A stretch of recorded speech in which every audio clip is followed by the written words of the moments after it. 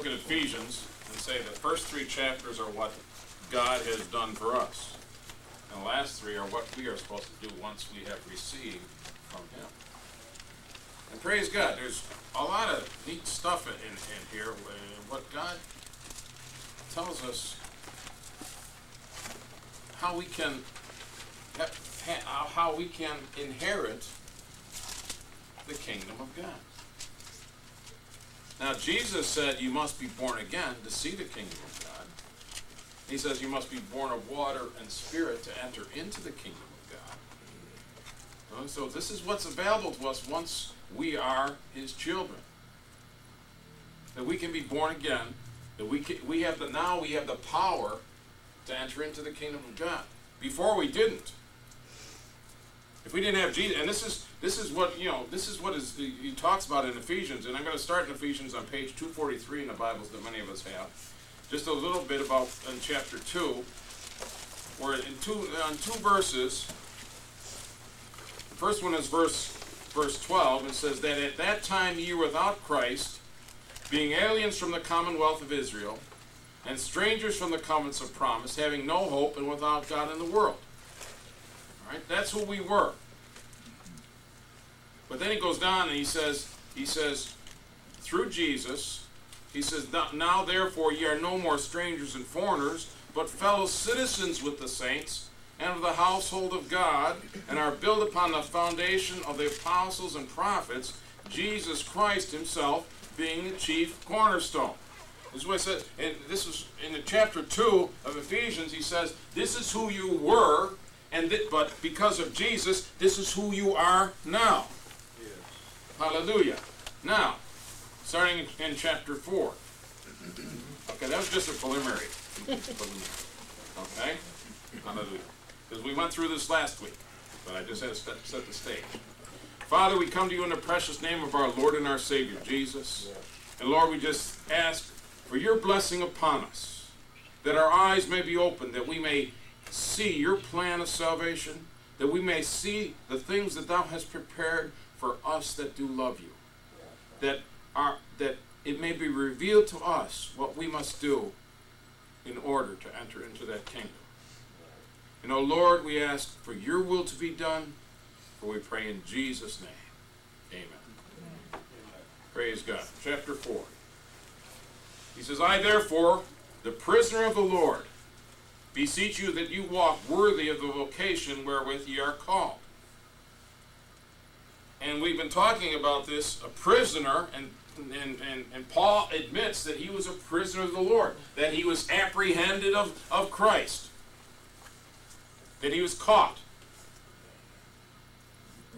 But what a what a pleasurable captivity. Amen. And he says, "Is a prisoner." And Paul was a prisoner of the Lord, and a prisoner has to ask permission to do everything. Praise God. And this is this is what we have in the Word of God. He says, "In all thy ways acknowledge Him, and He will direct your paths." You know, we like to take the big things to God and say, "Well, okay, you know, I don't know about this. Should I, what should I do about this? What should I do about that?" But what about all things? Amen. Acknowledge Him in all thy ways. Now, people get so ridiculous in it, and they say, "Well, I asked permission. I asked, should I go to work today?" I really didn't want to go, but I had to ask, and he said no, so I didn't go. That's ridiculous. Mercy.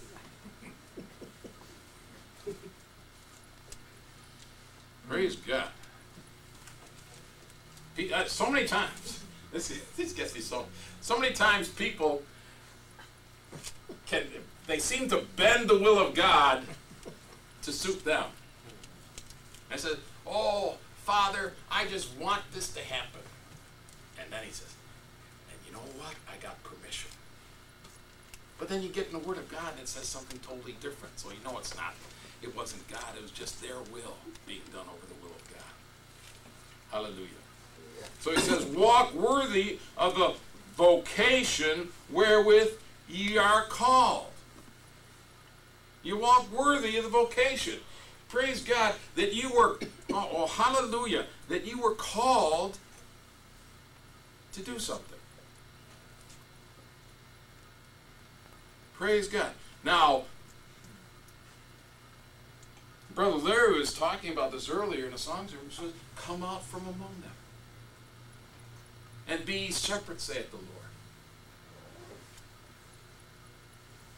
And touch, touch not the unclean. And I will receive you.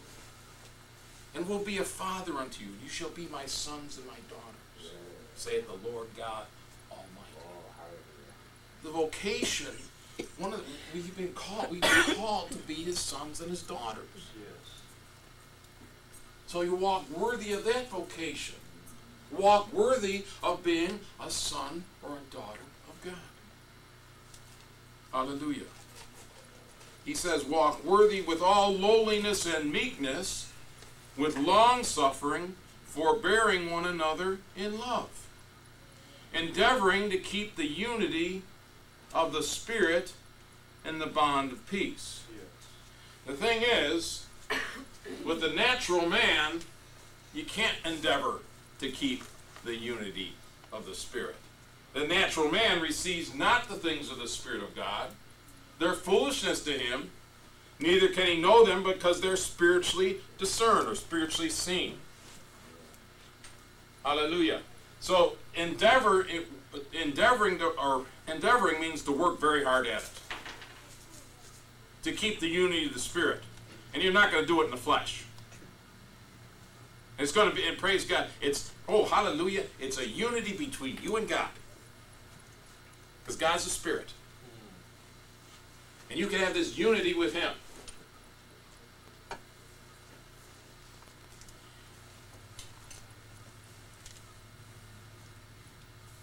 When you ask Jesus into your heart, the two become one.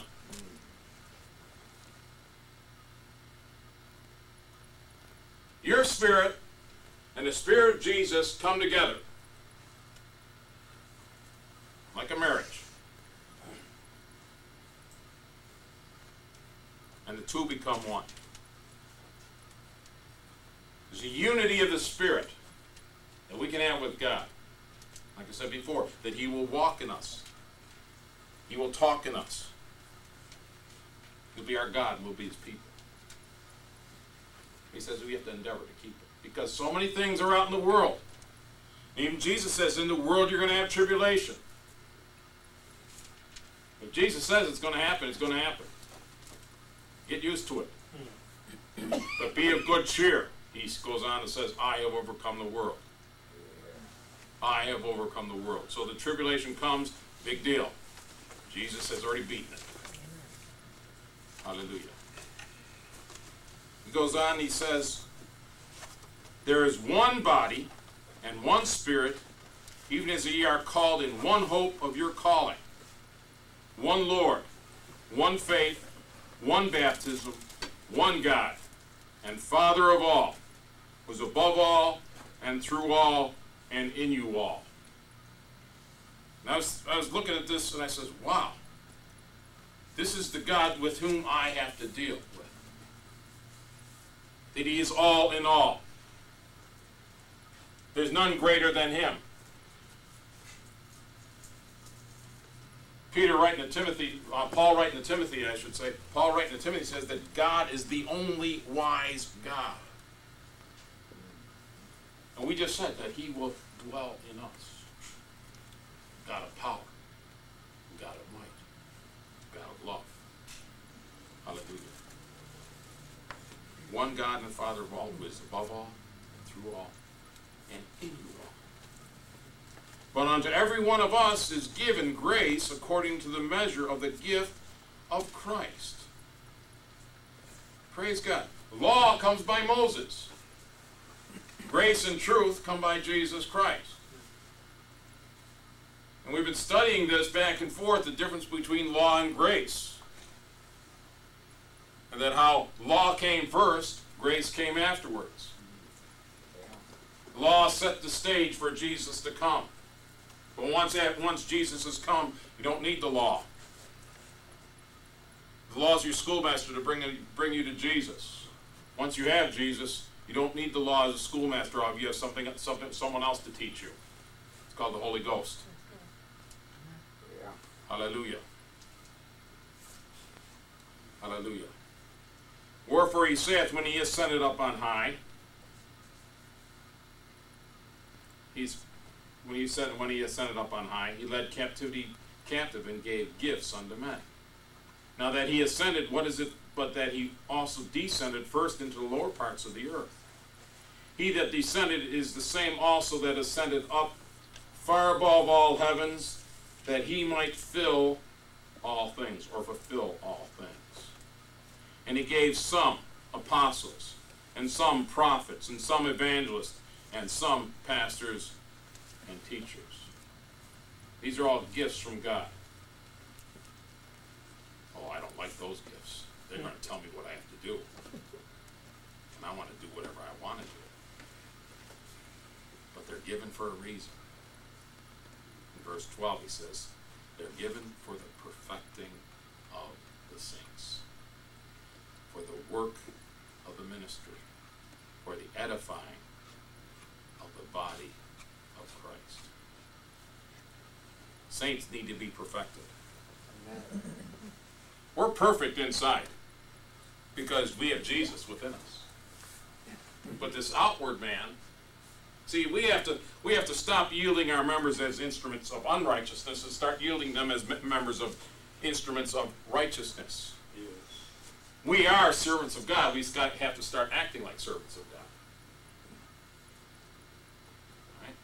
And this is the work of the ministry. This is the work. This is what apostles and prophets and pastors and evangelists and teachers do. They give you the word, tell you what you have to do.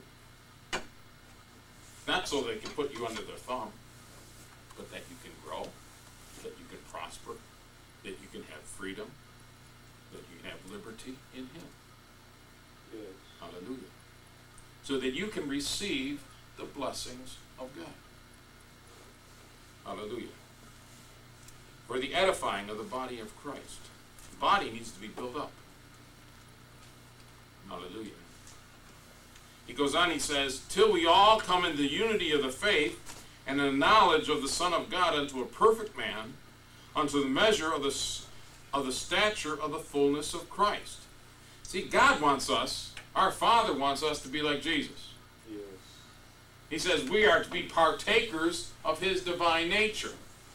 That we that we're to be like Jesus. Even Jesus said, tells us, He says, "Be perfect as my Father which is in heaven is perfect." Okay. So praise God. So here he's saying he's saying that as we, uh, he says we come into the unity of the faith and of the knowledge of the Son of God. Another place in Scripture he says that we should know even as we are known. That we're to know more than we know right now. We're supposed to know ourselves as God knows us. We're to measure ourselves with Jesus. I mean, man comes along and he gives you all these standards, and they'll put their rules up on the board, on a board or blackboard or, or wherever, or on a wall or something, and say, this is what you have to do. In fact, in fact, I I, was I, I just visited my son out in Seattle, and he told me about the, uh, the church that he was going to.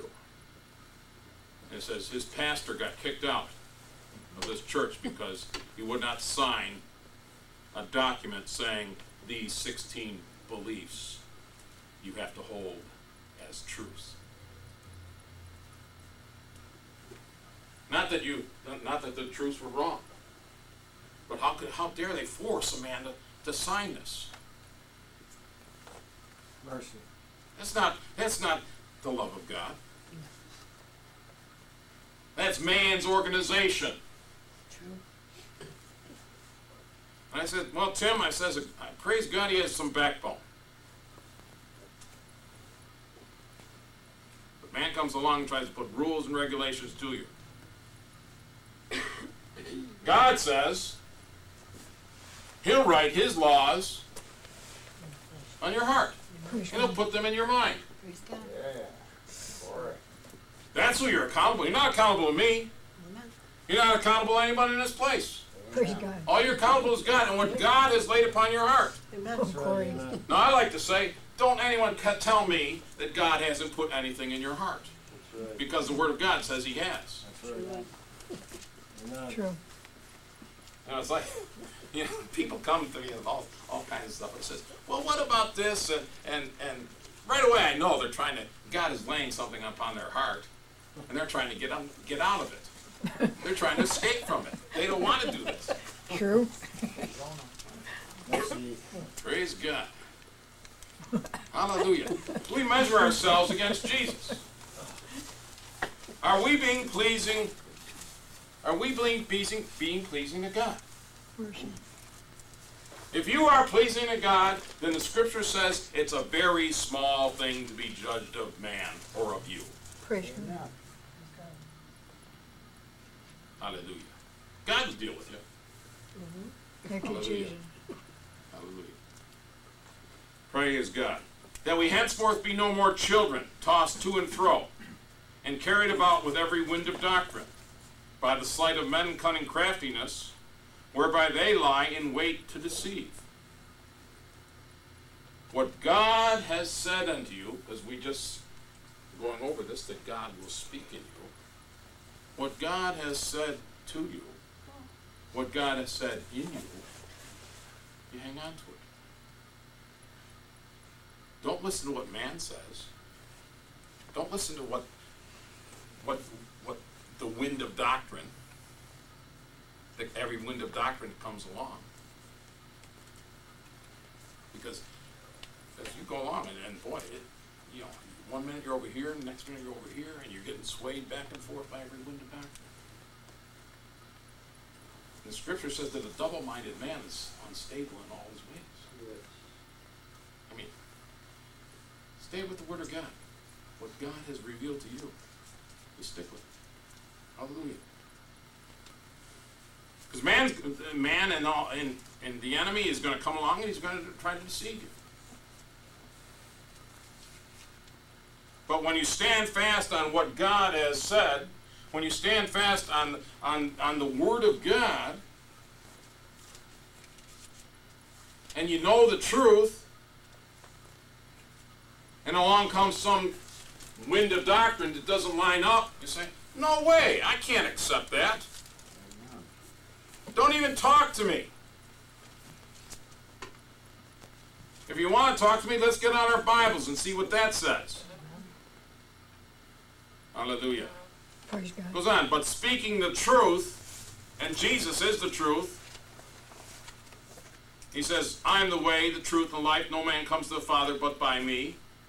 But speaking the truth in love may grow up into him in all things, which is the head, even Christ.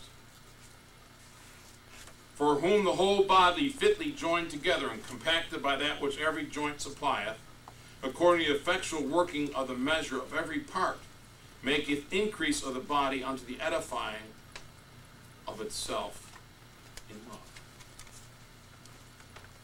This I say therefore and testify in the Lord that ye henceforth walk not as other Gentiles walk in the vanity of their mind. Don't walk like they walk. Their idea of their idea is self-promotion. To promote themselves, to lift up themselves.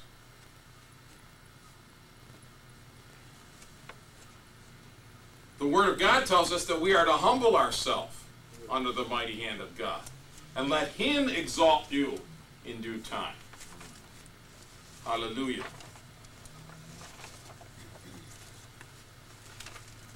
Hallelujah. Having the understanding darkened, being alienated from the life of God through the ignorance that is in them because of the blindness of their heart. Vanity of mind that doesn't look any further than, than a mirror. Mm-hmm. See how wonderful I am. Their understanding has been darkened. Hallelujah. Or we just read, open our eyes that we may see. Yes. Our eyes can be open to the truth. The truth in the Word of God. The truth of the Word of God is that Jesus is Lord. The truth of the Word of God is that Jesus had a Father, God Almighty, and that the truth of the Word of God is that Jesus submitted himself to the will of the Father. And the truth of the Word of God is that everyone that does the same thing and submits themselves to Jesus, confessing him as their Lord, will be saved. They will be exalted. Those who do not not be saved. Hallelujah. Who being past feeling have given themselves under over themselves over unto lasciviousness to work on uncleanness with greediness. These are people that have no feeling for other people. No compassion left. It's all vanity of mind. Give me, give me, give me. Let my needs be met. Let my wants be taken care of. Let me be pampered. They become selfish. But ye have not so learned Christ, have you? Amen. Hallelujah. That's what it says. But ye have not so learned Christ. The anointing is Christ. Christ is the anointing, is the anointed one. Hallelujah.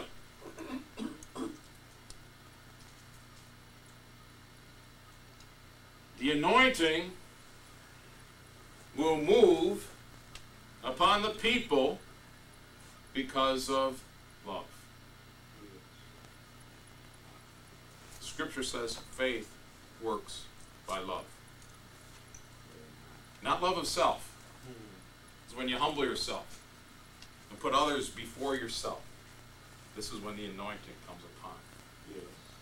And it's not what you're doing for someone else, it's what Jesus and what God is doing. Hallelujah. Hallelujah. Hallelujah. Thank you, Jesus. Hallelujah. If so be that ye have been heard him and have been taught by him as the truth is in Jesus, that ye put off concerning the former conversation the old man, which is corrupt according to deceitful lust. See, the old man cannot put on Christ. The natural man cannot put on Christ. It's the old man that, that stinks.